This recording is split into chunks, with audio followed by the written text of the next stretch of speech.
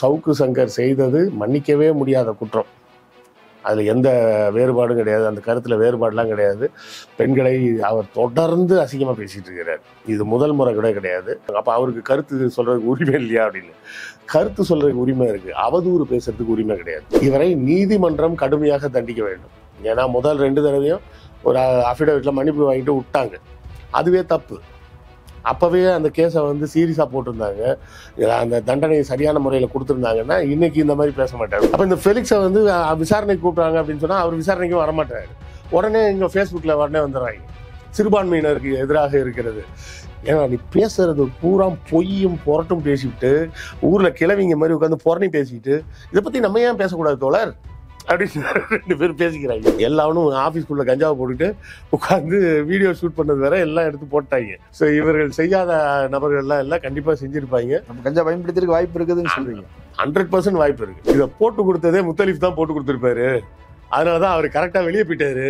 இந்த இந்த நேரத்தில் இந்த இந்த இடத்துல ஆளை பிடிக்கலாம் நீங்க அப்படின்னு வெளியே இருந்து எல்லாருக்கும் அந்த டைரக்ஷன்ஸ் கொடுக்கறதே அவர் தான் போலீஸ்க்கு எல்லா இன்ஃபர்மேஷனும் கொடுக்குறாரு அப்படின்னு ஒரு செய்தி உழவுது அன்னைக்கே பேசின பேசுன அன்னைக்கு தூக்கி உள்ள வச்சிருக்கோம். இந்த மஞ்ச பத்திரிகைக்கும் இந்த ஆளுக்கும் இவங்க என்ன பெரிய வித்தியாசம் இருக்கு? அரண்சை நண்பர்களுக்கு வணக்கம்.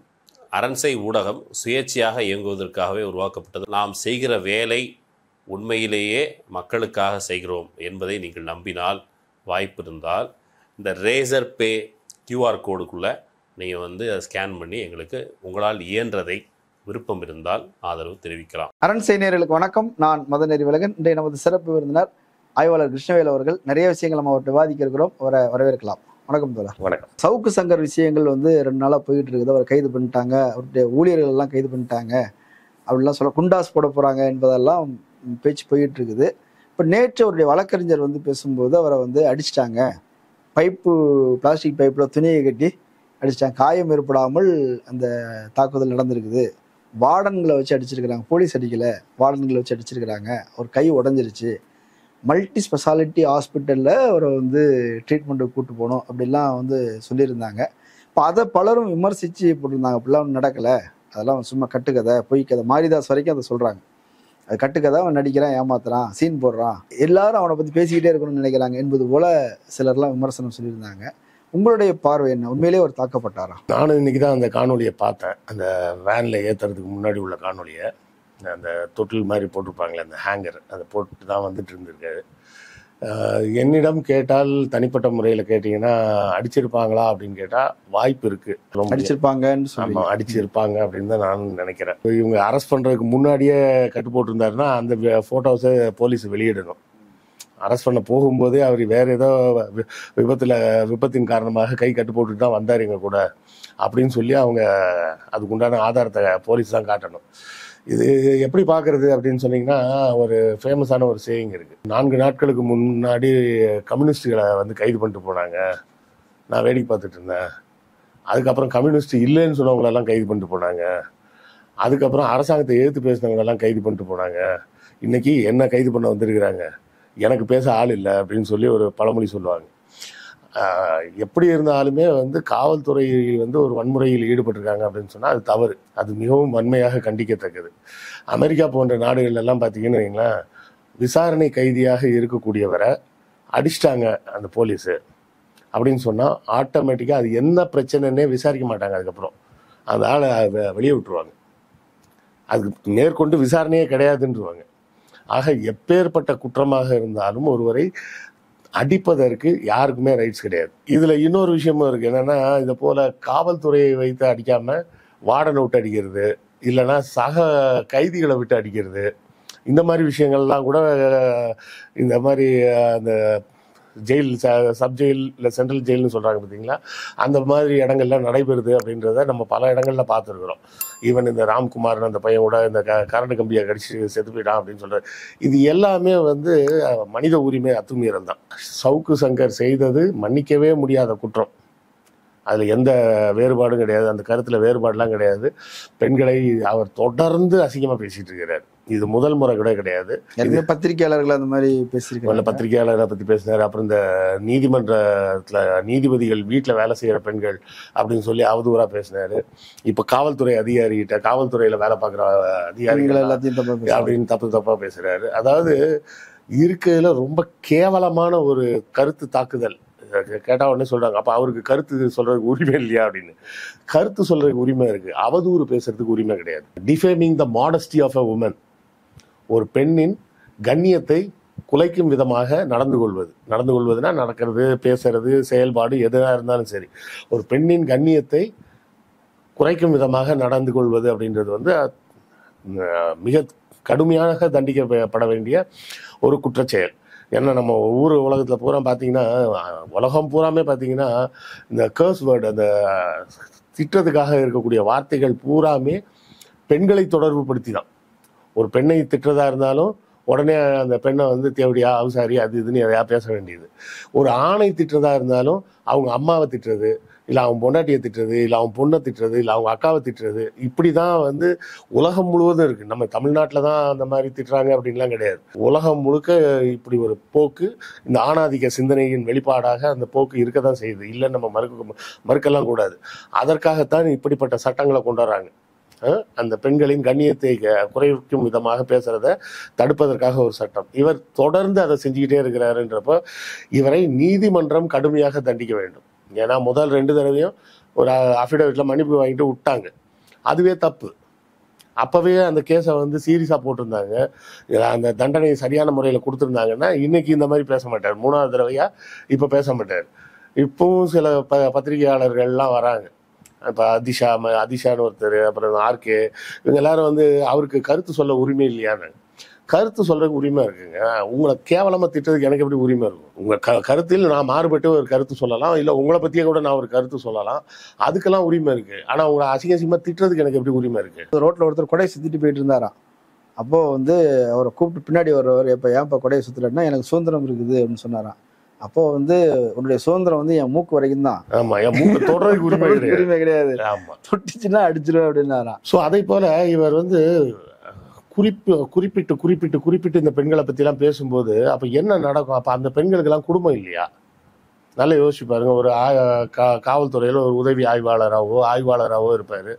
அவங்க அவங்க போய் வீட்டில் போய் எனக்கு ப்ரொமோஷன் கிடைச்சிருச்சு அப்படின்னு சொன்னால் அவங்க சொந்தக்காரங்க பூரா என்ன நினைப்பாங்க? இந்த மாதிரி ஒரு கருத்தை நீங்கள் பரப்புனீங்கன்னா. அப்போ இந்த பெண் வந்து யார் கூட படுத்து தான் ப்ரொமோஷன் ஆகிட்டு வந்தது அப்படின்னு ஒரு பொது புத்தியில வைக்கக்கூடிய ஒரு விஷயமா இருக்குல்ல இது. ஒரு முன்னேற்றத்தை வளர்ச்சியை கொண்டாட முடியாத அளவுக்கு வந்து அவங்களோட. வளர்ச்சியை வந்து தடுக்கும் விதமாக பேசுறது. ஒரு பெண்ணை வந்து வாயடைக்க செய்யணும் அப்படின்னு சொன்னா ஒரு இடத்துல பொது இடத்துல வந்து தைரியமா பேசுறாங்க அப்படின்னா இப்போ கூட பாருங்க நம்ம ஊர்ல வந்து சென்னையில குறிப்பா சொல்றேன் அப்படி ஒரு பழக்கம் இருக்கு.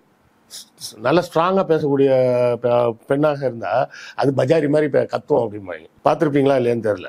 இன்னும் இன்னும் பலருக்கு வந்து பேசும்போதே பார்த்தீங்கன்னா பெண்களை பற்றி பேசும்போது அந்த அம்மா அப்படி சொல்லுச்சு அப்படிம்பாங்க.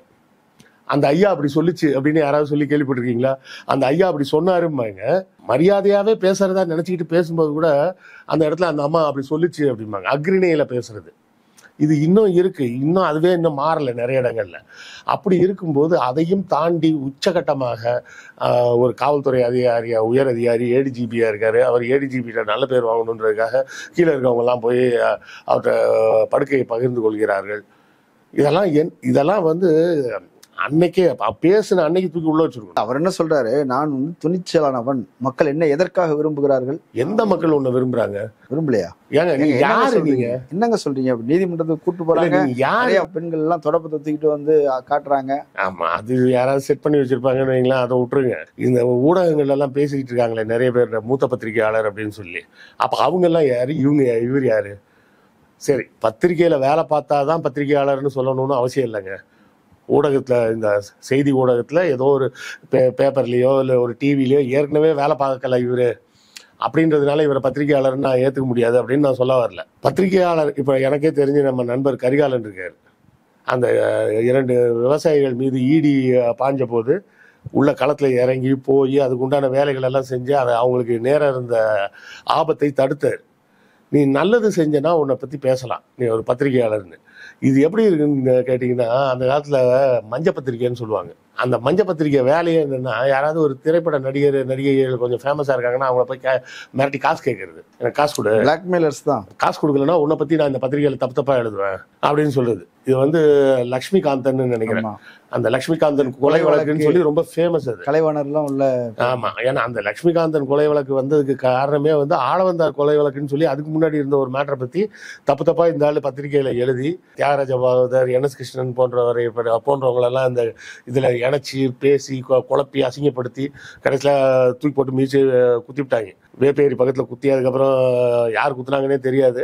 அப்புறம் கொண்டு போய் ஜிஹெச்ல அட்மிட் பண்ணி அப்புறம் கேஸ் ஆகி அது செத்து போய் இப்படி பல விஷயங்கள் நடந்தது. இந்த மஞ்ச பத்திரிகைக்கும் இந்த ஆளுக்கும் இவங்க என்ன பெரிய வித்தியாசம் இருக்கு? எப்போதுமே பார்த்தீங்கன்னா ஒரு ஊடகம்னு ஒன்று உருவாகும் போது அதில் நல்ல விஷயமும் நடக்கும் கெட்ட விஷயமும் நடக்கும். துணிச்சலாக அரசை எதிர்த்து சண்டை செய்கிறார். அரசை எதிர்த்து இவர் என்ன கிழிச்சாருன்னு கேட்குறேன் இவ்வளவு நாள்ல அரசை எதிர்த்து என்ன கிழிச்சாரு? அரசாங்கம் பெண்களுக்கு உரிமை தொகை கொடுத்தா அந்த அந்த பணத்தை வாங்கிட்டு அவங்க ஊர் ஜாலியாக ஊர் சுற்றுவாங்க அப்படின்னு பேசிட்டு இருந்தாரு. இப்போவும் பார்த்தீங்கன்னா கர்நாடகாவில் அது மாதிரி பேசுகிறாங்க கர்நாடகாவில் பெண்களுக்கு விலையில்லா கட்டணத்தில் ப பயணம்னு சொல்லி அறிவிச்சா ஜனதா இப்போ இந்த வீரண்ணா குரூப் இருக்கு. இந்த வீரண்ணா குரூப் தான் என்ன சொல்லியிருக்கு? முன்னாடிலாம் அடக்க ஒடுக்கமா எங்கள் பெண்கள்லாம் வீட்டில் இருந்தாங்க. இப்போ பஸ்ஸு ஃப்ரீன்னு உடனே அவங்களாம் அவுத்து விட்ட மாதிரி எங்கெங்கேயோ சுற்றிட்டு இருக்காங்க. அப்ப இந்த பெண்களை பூரா கொச்சைப்படுத்தியே தொடர்ந்து பேசிட்டு இருக்கிறது அப்படின்றது வந்து ஒரு நாகரிகமான மனிதன் செய்யக்கூடிய வேலை கிடையாது. இன்னொரு விஷயம் என்னன்னா ஒரு பத்திரிகையாளர்னா சும்மா எனக்கு ஒரு சோர்ஸ் சொல்லுச்சு. நானும் சொல்லவா? எனக்கு ஒரு சோர்ஸ் சொல்லுச்சு. சவுக்கு சங்கர் வந்து செ- மட்டும் ஒரு எண்பது இடத்துல கஞ்சா விற்கிறதுக்கு அவுட்லெட் வச்சிருக்காரு ஆள் வச்சிருக்காரு ஆள் வச்சு விற்கிறாரு எனக்கு ஒரு சோர்ஸ் சொல்லுச்சு அப்படின்னு நானும் சொல்லலாமா? அப்போ ஒரு பத்- பொதுவெளியில் பேசக்கூடிய நபர்கள் பொறுப்புடன் பேசணுன்றது முதல் விஷயம். ரெண்டாவது அவதூறு பேசக்கூடாது. தவறை சுட்டி காட்டலாம். தவறை சுட்டி காட்டக்கூடாதுன்னு நம்ம சொல்லவே இல்லை. அநீதிக்கு எதிராக பேசணும். ஆதாரம் இருந்தா பேசணும். ஆதாரம் இல்லாம பேசினா அதுக்கு பேர் அவதூறு. வாய்க்கு வந்ததெல்லாம் பேசுறதுக்கு பேரு ஊடகமா? உடனே ஒரு குரூப் கிளம்பிட்டாங்க. பாத்தீங்களா? இந்த அரசா திமுக அரசாங்கம் சிறுபான்மையினருக்கு எதிராக இருக்கு. இப்போ சவுக்கு சங்கரும் ஃபெலிக்ஸும் உட்கார்ந்து பேசினது பூரா புரணி. நம்ம ஊர்ல இந்த கிழவிங்க எல்லாம் பொழுது போகாம திண்ணையில போற அடிச்சுக்கிட்டு வாய. நீ கேட்டியா? இந்த அவன் அவன் கூட ஓடி போயிட்டாலாமே. தெரியுமா உனக்கு? ஏய் நான் கூட நேர்ல பார்த்தேன்டி அப்படின்னு உட்காந்து பேசிட்டு இருப்பாங்களே. அது மாதிரி இவங்க ரெண்டு பேரும் உட்காந்து புரணி பேசிட்டு இருக்காங்க. இப்போ புரணி பேசிட்டு புரணி பேசுனது ஏன்னா அரெஸ்ட் பண்ணி உள்ள வச்சா பத்தியா அரசாங்கம் பயந்து விட்டது. அப்போ இந்த ஃபெலிக்ஸை வந்து விசாரணைக்கு கூப்பிடுறாங்க அப்படின்னு சொன்னால் அவர் விசாரணைக்கும் வரமாட்டாரு உடனே இங்கே ஃபேஸ்புக்கில் உடனே வந்துடுறாங்க. சிறுபான்மையினருக்கு எதிராக இருக்கிறது. ஏன்னா நீ பேசுறது பூரா பொய்யும் புரட்டும் பேசிவிட்டு ஊரில் கிழவிங்க மாதிரி உட்காந்து புறணி பேசிக்கிட்டு இதை பற்றி நம்ம ஏன் பேசக்கூடாது தோழர்?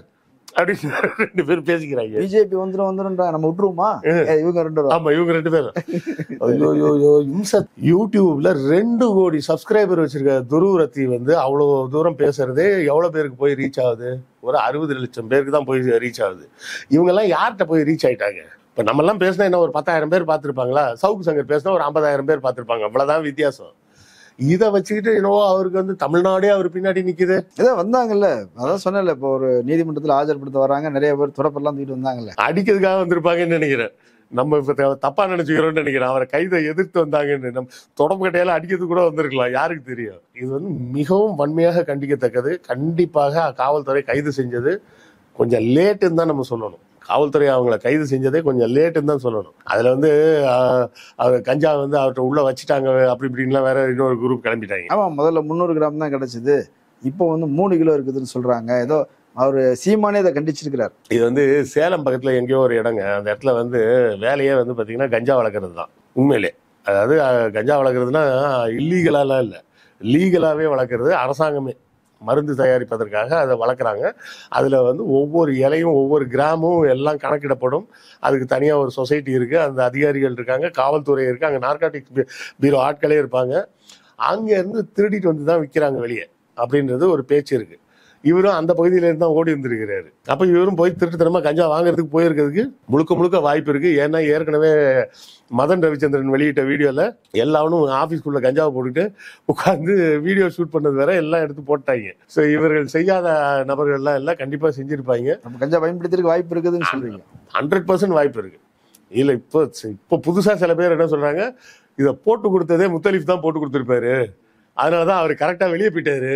இந்த இந்த நேரத்துல இந்த இந்த இடத்துல ஆளை பிடிக்கலாம் நீங்க அப்படின்னு வெளியே இருந்து எல்லாருக்கும் அந்த டைரக்ஷன்ஸ் கொடுக்கறதே அவர் தான் போலீஸ்க்கு எல்லா இன்ஃபர்மேஷனும் கொடுக்குறாரு அப்படின்னு ஒரு செய்தி உழவுது ஏன்னா கரெக்டா இவர் வெளியே வர்றாரு. அவர் சொல்றாரு அவர் என்ன சொல்றாரு? கௌரவமா அவர் வெளியே வந்துட்டோம் அப்படின்னு அதாங்க அவர் வீட்டில் சொல்லியிருப்பாங்க. ஒய்ஃப் அம்மா மாமியார் மாமனார் எல்லாரும் சொல்லியிருப்பாங்க.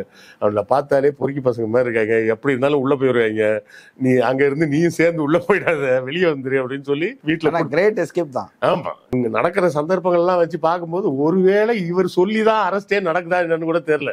ஏன்னா இவர் வெளியே வராரு. வரிசையா ஒவ்வொருத்தரையா தான் அரெஸ்ட் பண்றாங்க. இப்ப முன்னாடி எல்லாம் யாரையாவது அரெஸ்ட் பண்ணா அவரு உட்கார்ந்து வீடியோ போடுவாரு. இப்ப அவரை அரெஸ்ட் பண்ணி உள்ள வச்சுட்டாங்க. அதுக்கு வீடியோ போட இப்ப ஆள் இல்ல. ஃபெலிக்ஸ் போட்டுட்டு இருக்கிறாரு. ஃபெலிக்ஸ் தான் போட்டுட்டு இருக்கிறாரு. ஒவ்வொருத்தரா வராங்க. யார் சவுக்கு ஆதரவாளர்கள் எல்லாம் வராங்க. இதெல்லாம் ஆதரிப்பது என்பது எவ்வளவு ஒரு கேனத்தனமான ஒரு விஷயம் அப்படிங்கறத நம்ம யோசிக்கணும். ஆனா வானதி அக்கா சொல்லியிருக்கிறாங்கல்ல திமுக அரசை தொடர்ந்து விமர்சித்ததால் சவுக்கு சங்கரை வந்து அரெஸ்ட் பண்ணிட்டாங்க அப்படிலாம் சொல்லியிருக்கிறாங்க. திமுக அரசை எதிர்த்து பேசுறதுக்கு ஏதாவது ஒண்ணு கிடைச்சா பேசிக்க வேண்டியதுதானே அப்படின்னு தான் வானதி அக்கா பேசிட்டு இருக்கிறாங்க எனக்கு தெரிஞ்சு பாஜகல அந்த வார் ரூம்ல இருந்து எஸ்கேப் ஆன ஒரே ஆளு வானதி அக்கா மட்டும்தான். சரியா? மத்த எல்லாரையும் வளைச்சு வளைச்சு அண்ணாமலை வேட்டையாடி தீத்துட்டாரு. ஸோ சவுக்கு சங்கருக்கு விரைவில் தக்க பாடத்தை இந்த சட்டம் குண்டாஸ் போட போறாங்கலாம் சொல்றாங்க. போடட்டும்ன்ற போட்டு ஒரு வருஷம் உள்ள போடலாம்னு சொல்றீங்களா? ஆமா போடட்டும் இருபத்தி ரெண்டு வழக்குகளை போட்டு வச்சிருக்காங்க போட்டு உள்ள தூக்கி வைக்கட்டும். ஒரு ஒரு வருஷம் உள்ள இருக்கட்டும். ஏன்னா குண்டாஸ் போட்டாங்கன்னா ஒரு நல்ல விஷயம் என்னன்னா ஒரு வருஷத்துக்கு ஜாமீன் கிடையாது. கேஸ் நடத்தணும்னு அவசியம் கிடையாது. எல்லாம் ஒரு வருஷத்துக்கு அப்புறம் பார்த்துக்கலாம் ஒரு ஒரு வருஷம் உள்ள இருந்து வந்து இருந்து பார்த்துட்டு வரட்டும். அப்புறமாவது கொஞ்சம் பொறுப்போடு நடந்துக்க முயற்சி செய்யறாரா அந்த ஆளு அப்படின்னு பார்ப்போம் பிற்பட நடந்து போற அதெல்லாம் நடந்துக்கிற மாதிரி தெரியல. திருந்துறாரான்னு பார்ப்போம் நான் தான் மொத்த அரசியலே தீர்மானிக்கிறேன். அப்படின்ற மனநிலையில் இருக்கிறாருலாம் சொல்றாங்க. அதான் அந்த அது உள்ள போயிட்டு வந்தா தெரியும். அந்த காராகிரகத்துக்கு உள்ள போயிட்டு வந்தா சம அவங்களுக்கெல்லாம் சமஸ்கிருதத்துல சொன்னதானே புரியும். அதனால சமஸ்கிருதத்திலே சொல்லுவோம். அந்த காராகிரகத்தில் போய் ஒரு ஒரு ஆண்டு கழிச்சுட்டு வந்தாங்கன்னா ம மனசு திருந்துறதுக்கு ஏதாவது வாய்ப்பு இருக்கு. இல்லைனாலும் உள்ள வச்சு திருத்திடுவாங்க. திருத்திடுவாங்க அப்படின்னு சொல்றீங்க. ஆனால் எனக்கு இன்னொரு விஷயம் நான் கவனித்தேன் போன முறை அவரை கைது செய்யும்போது அப்போது வந்து நீதிமன்றம் தான் அந்த த- முடிவு எடுக்குது. அவங்க தான் உள்ளே வைக்கிறாங்க. அப்போது வந்து சீமான் கண்டிக்கிறாரு சாட்டை திருமன் கண்டிக்கிறாரு அண்ணாமலை கண்டிக்கிறாரு. எதிர்கட்சிகளெல்லாம் கொதிக்குது கொண்டு இப்போ பெரிய அநீதி நடந்துச்சு அப்படின்பது போல் பேசுனாங்க. இப்போ இந்த முறை வந்து பெரிய லெவலில் ஆதரவு இல்லை. இப்போ சீமான் கூட கஞ்சா வச்சுட்டாங்களான்னா அது ரொம்ப ஓவர் அப்படிங்கிற ஒரு ஓவர் என்ன முன்னாடி வந்து சவுத் சங்கர்னாங்க இப்போ கஞ்சா சங்கர்னு சொல்லுவாங்க. அப்படின்னு சொல்லி நிறுத்திட்டார். தம்பி அப்படி பேசியிருக்க தேவையில்லை அப்படின்னு கழட்டி விட்டார். ஆமாங்க நீங்க எத்தனை வாட்டி தான் நீங்க வந்து முட்டு கொடுக்க முடியும்? பெண்களை பத்தி தப்பா பேசுறது சரிதானா?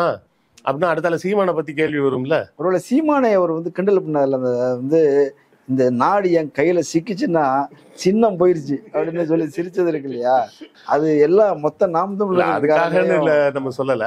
பொதுவாவே பாத்தீங்கன்னா முதல்ல வந்து அரசியல் நிலைப்பாடு அப்படின்றதுக்காக திமுக திட்டலாம் அப்படின்றதுக்காக எடுப்பாங்க.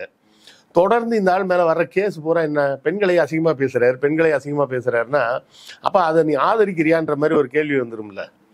இருக்கு ஏற்கனவே நமக்கு பேர் ரொம்ப நல்ல பேரு இல்ல ரொம்ப பெரிய பேரு. இந்த குற்றச்சாட்டும் சேர்ந்து வந்துச்சுன்னா எப்படி இருக்கும்? அவர் எப்பவுமே அண்ணன் சீமான் வந்து எப்போதுமே தம்பி தங்கைகள் புடைசூழ இருப்பாரு. அந்த தங்கைகள் எல்லாம் கேட்க மாட்டாங்களா? அப்ப அண்ணா என்னன்னா எங்களெல்லாம் பத்தி தப்பா பேசினா ஓகேவா? உங்களுக்கு அவங்களே கேட்க மாட்டாங்களா? ஸோ அதனால இது வந்து நம்ம தேவையில்லாம இதெல்லாம் நம்ம கருத்து சொல்ல வேணாம் அப்படின்ற மாதிரி நினைச்சிட்டு விட்டுருப்பாரா இருக்கும். இப்போ இதெல்லாம் சொல்றோம். இப்போ நீ ஏற்கனவே சொல்லிட்டு அடிச்சிருந்தா கூடாது அதெல்லாம் சொன்னீங்க. இருந்தாலும் சவுக்கு உயிருக்கு ஆபத்து இருக்கிறது சிறைக்குள்ளே அப்படின்ற ஒரு செய்தியை வந்து தொடர்ந்து அவங்களுடைய ஆதரவாளர் சொல்லிட்டு இருக்கிறாங்கல்ல. எல்லாரும் சொல்லக்கூடியது தானேங்க. ஒரு கைதி அப்படின்னு சொன்னோடனே அவர் நல்லவரா கெட்டவரான்லாம் கிடையாது. உடனடியா ஏதாவது அவரை புனிதப்படுத்தும் வேலைன்றது தமிழ்நாட்டில் இன்னைக்கு நேற்று நடக்கல. ஜெயலலிதா திருடிட்டு உள்ள போனாங்க. போனால் அம்மா என்ன காவிரியை வச்சுக்கோ அம்மாவை கொடுன்னு கேட்ட ஊர் தானே இந்த ஊர்? நம்ம உள்ள போனது எதுக்கு போனாங்க? என்ன ஏதாவது போய் சுதந்திர போராட்டத்துக்காக போனாங்களா? திருடிட்டு உள்ள போனாங்க. அது வந்து ஊழல் கிழல்லாம் எதுக்கு மறைச்சி கரைச்சிலாம் பேசிட்டு இருக்கீங்க? காசு திருடிட்டாங்க அரசாங்கத்துல இருந்து அப்படின்னு சொல்லி தூக்கி உள்ள வச்சுட்டாங்க. இந்த ஆளு பொம்பளைங்களை பத்தி அசிங்கமா பேசியிருக்கிறாருன்னு தூக்கி உள்ள வச்சிருக்கிறாங்க. ஏதாவது பேசணுமே. நம்ம தமிழ்நாட்டில் வந்து எப்போதுமே வந்து ஒரு டிஎம்கே ஃபோபியா அப்படின்னு சொல்லிட்டு ஒன்று இருக்கு. அது ஏன் எதுக்குலாம் எனக்கு தெரியாது. திமுகனா நாங்கள் திட்டுவோம் அப்படின்ற மாதிரி ஒரு கூட்டம் எப்போதுமே தமிழ்நாட்டில் இருக்கும். அந்த கூட்டங்கள் மட்டும்தான் இப்போ சவுக்குக்கு ஆதரவாக பேசிகிட்டு இருக்கிறாங்க. என்ன கேட்டிங்கன்னா அடித்தது தப்பு. ஆனால் கடுமையான தண்டனை கொடுக்கப்பட வேண்டும். இன்னொன்று சொல்றாங்க இல்லையா அவர் சிறைக்கு போகும்போது ஒரு குற்றவாளியாக கைதியாக உள்ள போறார். அதை பரிதாபமா நீங்க வந்து பேசுறீங்க கிண்டல் கேலி பண்றீங்க. ஆனா வரும்போது ஒரு தலைவராக வெளியே வருவார் அப்படிலாம் இழிச்சார் ஏங்க எங்க அண்ணன் சீமானே இன்னும் தலைவர் ஆகிறதுக்கு அவர் தன திணறிட்டு இருக்காரு. இவரெல்லாம் யாரு? அண்ணன் சீமானே வந்து சாட்டை துரைமுருகன் இருக்கிற ஃபாலோவர்ஸ் கூட அண்ணனுக்கு கிடையாது. சாட்டை துரைமுருகன் ஒரு நாற்பத்தஞ்சு லட்சமா என்னவோ வச்சிருக்கிறாரு சப்ஸ்கிரைபர் இவர் இவெல்லாம் யாரு? இந்த ஆளு. இல்லை எ- எந்த விஷயத்த வெளியே கொண்டு வந்துருக்க? இப்போ ஒன்றும் இல்லைங்க. தெஹல்காலாம் நீங்கள் கேள்விப்பட்டிருப்பீங்க. பிரணாய் ராய்லாம் கேள்விப்பட்டிருக்கீங்க. அவங்கெல்லாம் வந்து பத்திரிகை துறைன்னு உள்ளே வந்து பெரிய விஷயங்களை பெரிய பெரிய ஸ்கேம் எல்லாம் ஓப்பன் பண்ணி காமிச்சு உடச்சி மக்கள் மத்தியில் ப்ரூவ் பண்ணி அவங்களே மக்கள் மத்தியில் பேர் வாங்குறதுக்கு திணறிட்டு இருக்காங்க. நீ உட்காந்து புறணி பேசுறவெல்லாம் வந்து ஜெயிலுக்கு போனால் உடனே தலைவர் ஆயிடுவியா அதான் சொன்னேன், சிறைக்கு ஒரு ஒரு வருஷம் போயிட்டு வந்தா உள்ள இருக்கிறவன் கிளாஸ் எடுப்பான். அந்த சிறை கைதிகள் இருப்பாங்கல்ல உள்ள அவங்க கிளாஸ் எடுப்பாங்க இவருக்கு. அந்த கிளாஸ்ல படிச்சுட்டு இவர் பாஸ் பண்ணி வரட்டும் அதுக்கப்புறம் நம்ம பார்ப்போம். மக்கள் அதை பரிசீலிக்கட்டும். கலந்து கொண்டு கருத்துக்களை பகிர்ந்து நன்றி. நன்றி. நேரில் மற்றொரு விருந்தினரோடு மீண்டும் சந்திக்கலாம். நன்றி.